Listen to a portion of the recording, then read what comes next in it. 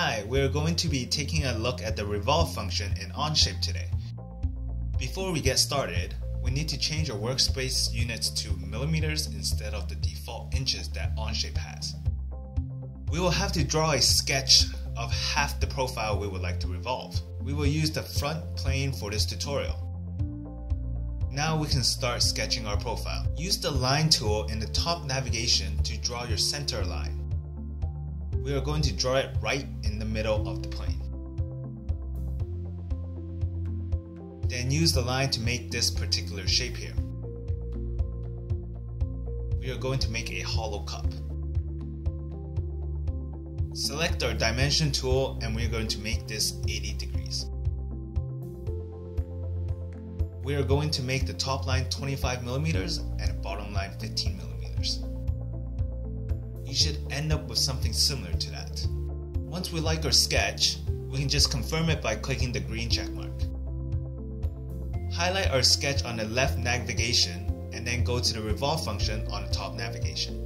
It is going to ask us to find a revolve axis and we are going to select the center line we drew earlier. Afterwards, confirm it. Now this is going to give us a shape like a cup, but we are still missing the inside part, the hollow part. Again, we are going to select the front face and sketch. Draw another line in the middle of the plane. And then roughly sketch out the inside of our cup.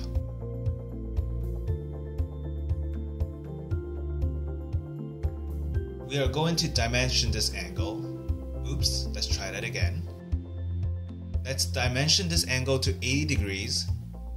Put the top line to 20 millimeters and a bottom line at 10 millimeters.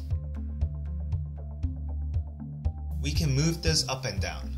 Since we are trying to have an open top cup, it is okay to have this portion protrude out. Let's confirm our sketch is good. And then we are going to use the revolve function again, but this time we are going to remove instead. Select the line we drew in the middle and click OK. Now we have a cup with a hole in the middle. Alternatively, we can always draw both of these lines together to come up with the same shape. So this is the basics of the revolve function inside Onshape. Thank you for watching.